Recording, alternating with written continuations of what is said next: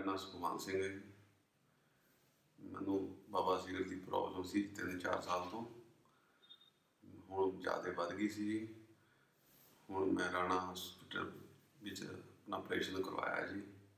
ਬਹੁਤ ਵਧੀਆ ਇਹਨਾਂ ਨੇ ਡੀਲ ਕੀਤਾ ਜੀ ਤੇ ਮੈਂ ਹੁਣ ਬਿਲਕੁਲ ਠੀਕ ਠਾਕ ਹਾਂ, ਮੈਂ ਆਪਣੇ ਘਰੇ ਜਾ ਰਿਹਾ ਜੇ। ਕਿਸੇ ਨੇ ਪ੍ਰੋਬਲਮ ਹੋਵੇ ਤਾਂ ਆਪਰੇਸ਼ਨ ਕਰਾਓ। ਆਪਰੇਸ਼ਨ ਤੋਂ ਡਰਨ ਦੀ ਕੋਈ ਲੋੜ ਨਹੀਂ, ਬਿਲਕੁਲ ਸਹੀ ਹੈ। ਜੇ ਤੁਸੀਂ ਪ੍ਰੇਸ਼ਨ ਤੋਂ ਡਰੋਗੇ ਤਾਂ ਤੁਹਾਡੀ ਤਕਲੀਫ ਵੱਧ ਸਕਦੀ है तो बिल्कुल प्रवेशन करा लेना चाहिए राणा हॉस्पिटल की यही है रीत फिस्चुला पर होगी सदा ही जीत